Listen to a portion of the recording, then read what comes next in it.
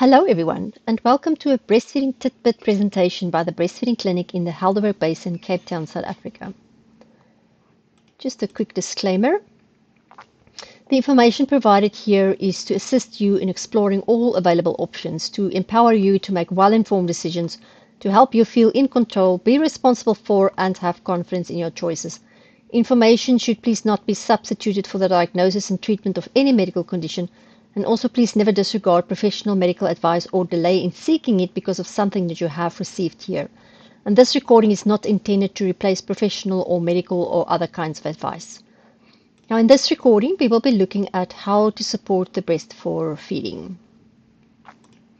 Now most mothers do not need to hold or shape or support their breast for latching, although depending on the size of a breast, or how the mother is positioned, she may need or want to support or shape her breast uh, for the nipple to be more accessible for the baby, or to stay in the baby's mouth when, once attached, or to help the baby achieve or sustain a deep latch. Now, exactly how a mother uh, is going to offer her breast for a baby will depend on her breast anatomy, the baby's mouth anatomy, the mother's position, the baby's position, how long the mother's fingers are, uh, how big her hands are, etc let's just uh, let's look at a, a, few positions or holds.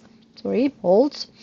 Now, a mother who wishes to shape her breast for her baby can place her fingers flat on her chest wall under her breast so that her first uh, finger forms support at the base of the breast and her thumb is on top, well back from the areola, that the darker skin around the nipple and the fingers below the breast should also, should also be well back from the baby's mouth so that the baby can grasp the nipple and areola without interference. Now, the breast, if you remember from a previous recording, needs to be exposed so that there's a circular landing pad with an approximate 5 centimeter radius around the nipple and areola uh, for the baby to get that chin um, nicely onto the breast.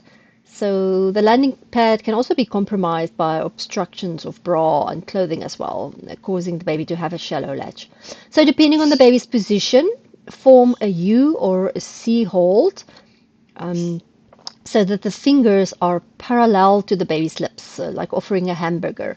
Uh, if you're going to use a C hold when the baby is, for example, in the cross cradle position, um, that would be like trying to eat a sandwich vertically to held to a horizontal mouth. Anyway, so for the classic C hold, support the breast with the thumb on top and the fingers underneath the breast. And this hold is helpful when the baby is perhaps in the underarm position. For the U hold, have the fingers flat on the rib cage under the breast with the index finger in the crease under the breast. And maybe drop your elbow so that your breast is supported between your thumb and index finger.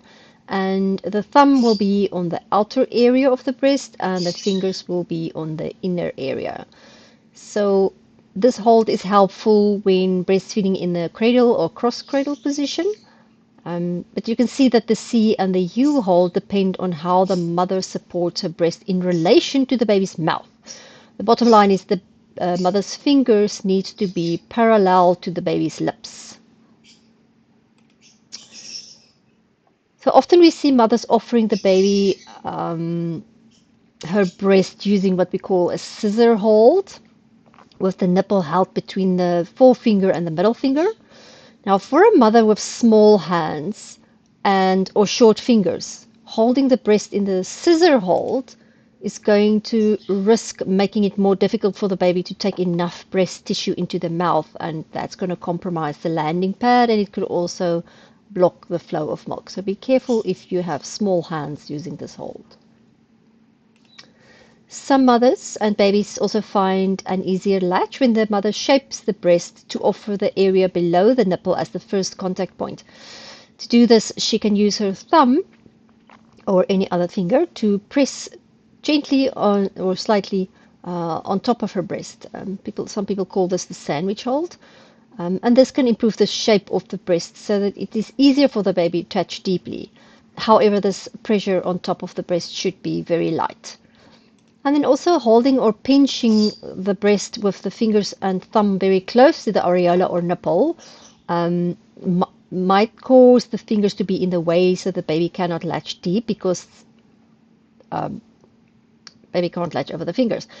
But if the mother has a very soft, large breast with uh, a nipple um, that is not protruding, maybe holding it like in a little teacup hold like in the picture on the left, could help the baby to, to latch deeper. Okay, thank you so much for watching this recording. If you would like to watch the free breastfeeding class series, please visit the breastfeeding clinic at www.breastfeedingsa.co.za and feel free to subscribe to this channel for more breastfeeding class and tidbit recordings. And take care till next time.